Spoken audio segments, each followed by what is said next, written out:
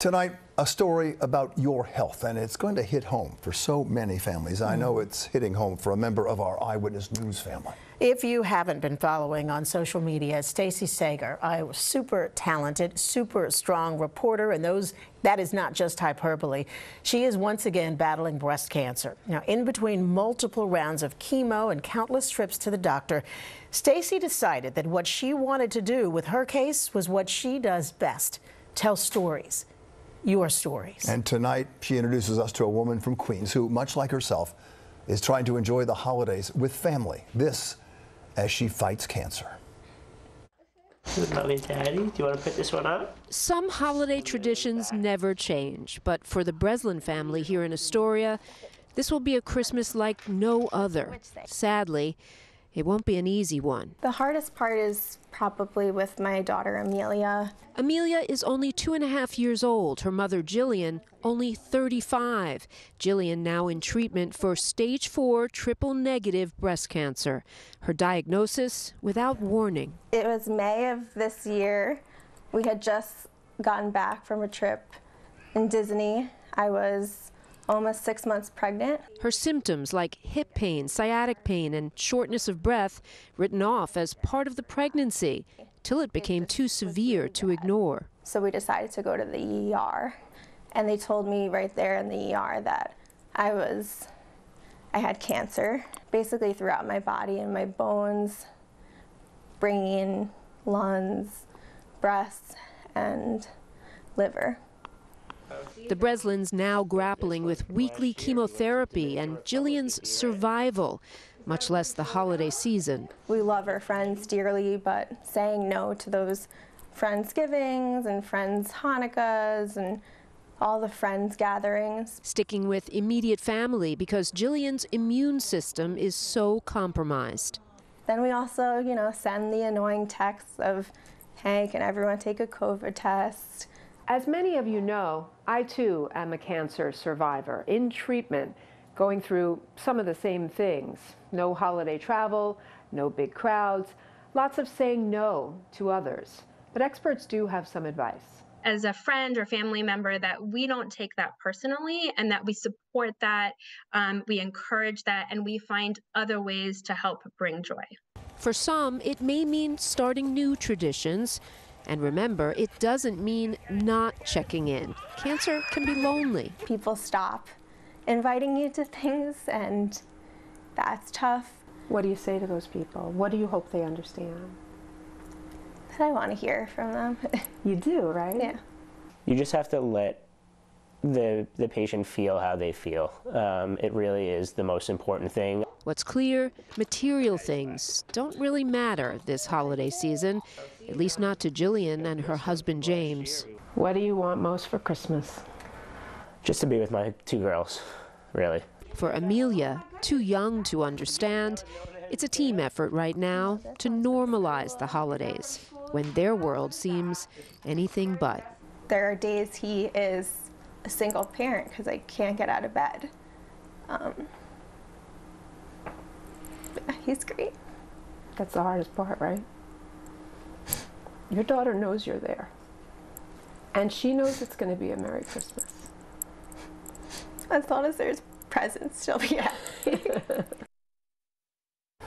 What a story. Stacey yeah. joins us now. You know, I look at that and I, you're, you're Stacey, the reporter, and yet I hear your yeah. throat cracking a little bit, and I see that she's getting strength from you. She, you gave that to her in this story. I just want to say I am crying, but I, I, haven't stopped thinking of Jillian since that shoot, or Amelia, or her husband James, mm. and there may be a Disney surprise coming to their house for, um, for Christmas. But you know, I mean, it's it's unbelievable the strength that they have and the cohesiveness as a family that they have. And no two cancer stories are alike. Um, I wanted to share another person's story to sort of let people in on the fact that, in case you don't know, it's very lonely having cancer on the holidays because cancer doesn't take a holiday, right? Uh, it doesn't take a Christmas break, and you're still in treatment, um, and you really have to take care of yourself, and you can't and you can't go places that you would normally go. So it's wonderful to be back with you all, though, Oh, and so hear you in my ear and feel like I'm back home in a way. Well, you are. You- Channel 7. A you lot's been are- going on. A whole So- lot's been going on. Stacey, you know, Yeah. we're so excited to have you on the show tonight because we, one of the things we all admire about you is that you are so tenacious when it comes to getting things done. You're, you were with, that way with stories you work on, and you've been that way through your cancer diagnoses. This one and, and the, the earlier ones. And the thing that you've always done, even when you were in the middle of this this journey, you've always been so open to having folks call you and ask you for advice. I know I've I've sent you, I've gotten your number, I've sent you people uh, their numbers to talk to. Is that has that helped you, or should I ask you how has that helped you with your own uh, fight? Being able to be so Well, helpful to others.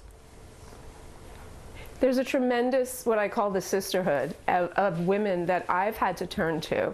And so, you know, you pay it forward all the time. So when people ask for advice, I try to give it the best I can.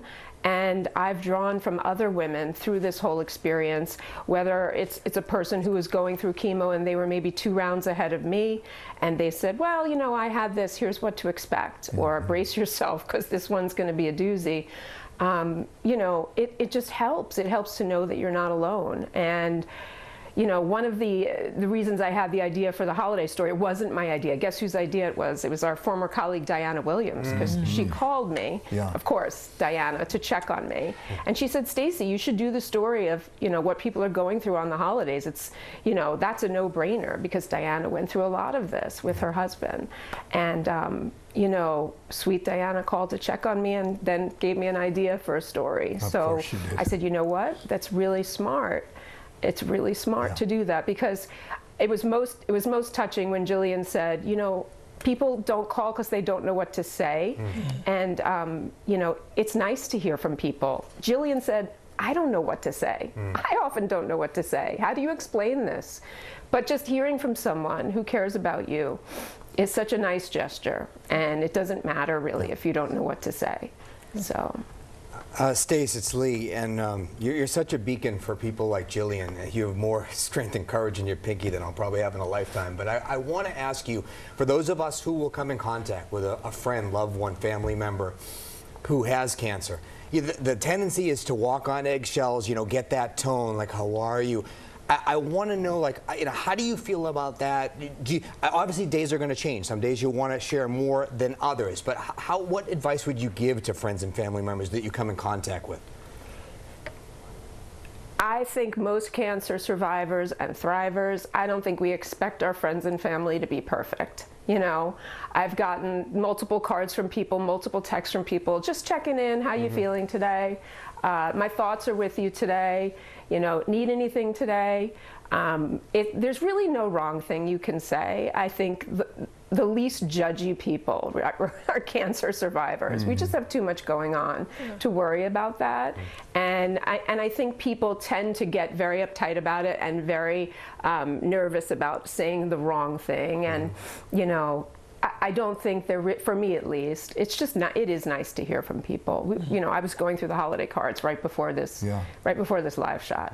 I love seeing what other people are up to. And sometimes it also distracts you to hear what other people are up to. It's a nice distraction because let's face it, things are pretty much the same around here, mm-hmm. day in and day out. It So. is so wonderful seeing you, Stacey Sager. You know, you're a great reporter. You're an incredible writer. You take, you're so smart, but it's nothing as compared to the human you are and what you, how strong you are going through this. And our love to your family, your two daughters.